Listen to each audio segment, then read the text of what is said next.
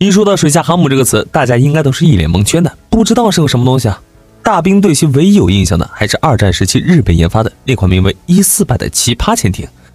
它的航程达到了一万四千海里，可以起驾三架秦岚强击机。这种能够起驾战机的潜艇看起来似乎很强大，但实际上作战效率非常低。美国人在缴获了这艘潜艇之后，很快就扔到一边去了。今天咱们要讲的，当然也不是日本这艘一四百，而是美国未来的水下航母。如何提升潜机作战力量的隐蔽性与突然性，一直都是各国的重点研究领域之一。如今，随着反潜技术的飞速发展，核潜艇长期以来的优势慢慢消失，很多人都开始担心啊，先进的核潜艇是否会变得像战列舰那样大而无用呢？因此，对于美军开始对核潜艇的讨论，其中将潜艇改装为航母的一个说法，吸引了大家的注意力。研究人员认为，可以试着将核潜艇改装为能够发射水下无人机或者无人潜航器的潜艇航母，使其能够从远距离打击敌人。显然，这是一个能够改变海战规则的玩法。美军认为，可以将如今发展的潜射无人机、无人潜航器以及核潜艇相结合，组成一种新武器。这样，每一艘核潜艇都能够成为水下无人潜航器的母舰。这些无人潜航器上可以携带众多的潜射无人机，甚至这些核潜艇的鱼雷发射管也可以装备潜射无人机。虽然美军对此事并未详细解释，但目前可以确认一点。美国潜艇发射的无人机将执行侦察和打击任务，这将大幅度提升美国潜艇对敌方两栖攻击舰队的威胁能力。根据美国国家利益网站最近发布的文章称，美国海军正计划把无人潜航器与鱼雷技术相结合，从而让自己的核潜艇变身成为水下航母，增强其突破敌方反潜网络的能力。在如今的战场上，无人机凭借着低廉的成本和较强的信息搜集能力，完全可以成为潜艇的金牌搭档。美国海军最近在这个方面迈出了重要的一步，宣称将大量采购黑翼微型无人机，从水下展开一张涵盖情报、监视和侦察等需求的无形之网。潜射无人机的出现，也给未来潜艇作战增加了新的模式，也让原有的潜艇底气侦察、反舰、防空、对陆攻击等作战模式发生了重大变化。大家都知道，潜艇目前最大的天敌是反潜机，潜射无人机的出现却是为了潜艇防空和反潜打开了新的思路。潜艇可以根据需要发射无人机，为其提供空中警戒，在固定反潜机或反潜直升机来临之前提供预警。另一方面，潜艇还可以利用以空制潜的优势，专门发展潜射反潜无人机，这样在与敌方潜艇周旋的时候，总能掌握敌方潜艇的最新动向。因此，美军对潜射无人机也十分看重。早在二零二一年三月中旬，美国政府招标网站上的一份征询方案就显示，美军海上系统司令部 （NAVSEA） 计划从加利福尼亚州的航宇环境公司购买多达一百二十架黑翼十 C 型无人机。该公司官网显示，重约两公斤的黑翼拥有惯性 GPS 导航系统和用来联络潜艇的加密数据链，并且为了适应狭窄的艇内空间，该机采用弹出式机翼，推进螺旋桨，由电力驱动。这使得黑翼不仅可以从潜航状态下的潜艇上发射，还能够从无人水下的潜航器中发射。作为该系列的最新型号，黑翼十 C 在机头装有小型光电和红外线传感器，是美军潜射无人机系统 SLUAS 计划的重要一环。此外，这款新型无人机将在 SLUAS 计划中用于各种潜艇平台，这也表明美国的 SLUAS 计划存在多个层级，可能涉及不同的无人机类型。在二零二零年十月，美军负责潜艇项目的一名少将级官员透露，目前至少二十一种无人机被用于能力展示，这个数字还可能进一步增长。除此之外，NAVSEA 在二零二零年的十月还发布的一份公告，明确了其对潜射无人机的技术要求。这份文件写道，美国海军需要直径为七十六点二毫米的潜射无人机，以提供增强的传感器、通信和网络安全能力。该系统应能从军用潜艇的标准发射管发射，在空中飞行至少一个小时。并且，该无人机还能在无线电通讯范围内操作，并使用至少二百五十六位的可变带宽加密数据链。这时候，或许就有朋友想问了：潜艇是如何发射这种无人机的呢？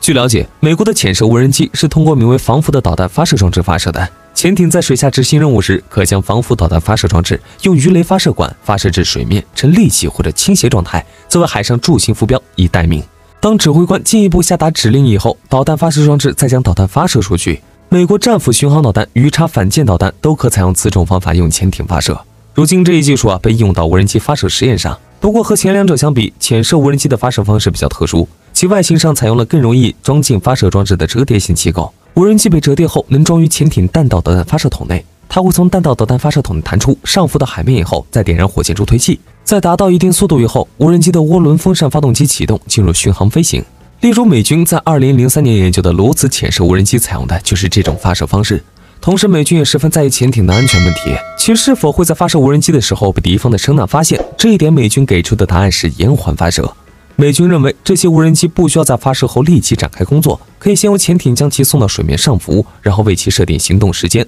让无人机在潜艇离开以后再升空展开行动。因此，这两种方式也让许多军事专家认为，微型潜射无人机能够极大的丰富潜艇作战的模式，为潜艇提高高度的隐蔽的监测手段，在敌人难以察觉的前提下扩大潜艇的视野。这种超视距情报收集能力可以帮助潜艇瞄准水面舰艇，将无人机作为飞行潜望镜，不仅能够显著扩展潜艇的传感器侦测范围，还能够进一步将这些数据提供给联合打击部队，对鱼叉和战斧导弹等多种武器系统的运用提供方便。当然，除了利用黑翼这样的微型无人机为单独一艘潜艇服务之外，潜射无人机还可以模仿陆地上空的使用方式，对敌方实施蜂群战术，扮演多重角色，包括充当诱饵、携带作战载荷，例如电子干扰设备，甚至小型弹药。另外，从潜艇发射的武装无人机也能够用来防御近距离威胁，尤其是敌军的小型舰艇，并且进行同步操作的无人机蜂群还能够相对容易的实现通讯中继功能，这在基于潜艇的特种作战中非常重要。比如，美军设想用四艘改装的俄亥俄级核潜艇组成水下特遣队，这些潜艇中的每一艘啊，都可以向敌对水域送出几十名特种兵。在这种场合，无人机可以部署到大部队前方，提供武装掩护并监控行动过程，并在特种兵和潜艇之间建立情报通道。美国海军学会新闻网报道称，早在2013年，美国海军就启动了黑翼无人机的测试工作。八年来，美军可能已经开发出了潜射无人机更多不为外界了解的功能。并从公开信息看，美军潜艇六列装的无人机也并不限于黑翼一款，这意味着今后会有更多令人耳目一新的战术组合被发明出来。虽然这种研究还处在早期阶段，但这肯定很有前途啊！如果这样的无人机能够放大，并且能够承担进攻任务，而且还能够在潜艇的鱼雷发射管或垂直发射管中部署，并携带传感器或者各种武器载荷，这样一来就能够解决美国海军将面临的挑战。而这种武器也会成为美军新一代海军侦察和远距离打击任务的作战平台。设想一下这种场景啊，未来的美国攻击核潜艇向数百公里之外发射，无人水下航行器执行监控或打击任务，而无人机水下航行器又能够向水下和空中发射无人机。虽然现在看来这种设想还相当初级，但是无论如何，军事技术往往都是从这种阶段发展完善的。虽然现在还有很多问题啊，但这种设想无疑令人非常兴奋呐。总之，信息化战场将包括陆、海、空、潜等多维网络。潜射无人机具有实现远程以及高精度探测与打击的能力，有助于提升与拓展核潜艇的态势感知、通信以及电子对抗等能力。美国海军必将基于 SLUAS 项目开展不同层次潜射无人机的研究，并装备于不同潜艇平台进行测试，从而进一步拓展美国海军的海上尤其高威胁区域的作战能力。那么，相较于如今的航母，水下航母有什么优点呢？相较于水上航母而言，水下航母有着隐蔽性好、攻击突然性强、航行安静等优点，非常适合不能够取得制海权的国家使用。其中，美国对该型航母的研发也是受到这上面这些案例的影响。设计水下航母的想法产生于第一次世界大战的前夕，也就是1913年。一位名叫庞俊林顿·比林的英国海军军官首先向英国海军部提出了关于水下航空母舰的设想。三年以后，英国海军部为了准备对位于库斯克港和东港的德国飞艇基地进行轰炸，开始把这一设想付诸实施。不过，那时候的所谓的水下航母，仅仅是把一艘 HMSE 二二号潜艇加以临时性的改装，使它适于甲板上停放水上飞机。后来，在二战时期，日本为了空袭美国本土，也想到了水下航母这个办法，也就是咱们前面提到的 E 四百。它的航程为一万四千海里，续航时间为三十天到四十八天时间。由于采用了双壳体设计，使它的横截面看上去像是一副眼镜，因此有一个别致的绰号“眼镜”。这种水下航母在二战时期总共制造出了三艘，都是日本制造的。而二战后期的美国、俄罗斯、英国也都研究过制造水下航母的可能性。由于潜水航母载机数量少，制造费用昂贵，技术难度大，而相继放弃了。